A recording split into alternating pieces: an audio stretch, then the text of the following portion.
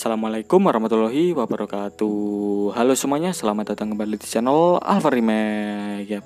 Oke nih, jadi di kesempatan kali ini saya akan menunjukkan tutorial bagaimana caranya untuk men-setting waktu atau jam di laptop kita. Nah, caranya itu simpel sekali teman-teman ya, tinggal kalian klik kanan. Nah, kemudian kalian pilih adjust date and time ini ya. Nah, kalau kalian sudah masuk ke tampilan seperti ini Nah, kalian ini matiin dulu, matiin dulu ini juga.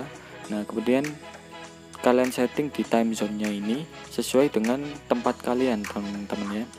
Nah kalau Indonesia itu biasanya itu pakai patokan Jakarta Jakarta Bangkok Hanoi Jakarta. Jadi sama gitu ya tinggal kalian sinkronkan aja. Kalau udah tinggal kalian aktifkan on on on itu oke? okay?